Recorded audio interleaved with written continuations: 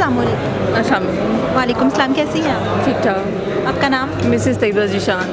Mrs Tayyaba आपने P N Y training से किस चीज़ में कोर्स किया? अ, मैंने डिजिटल मार्केटिंग कोर्स किया वर्चुअल असिस्टेंट ग्राफिक्स यहाँ पे स्टिल इंस्ट्रक्टर का नेम सर शहरियार ग्राफिक्स में थे हमारे।